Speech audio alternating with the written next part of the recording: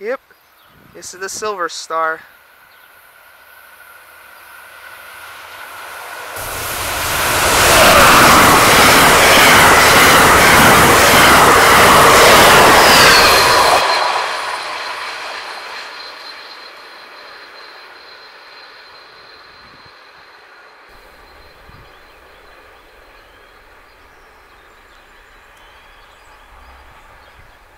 A nice part and shot of it as it goes around the curve at Prospect Park.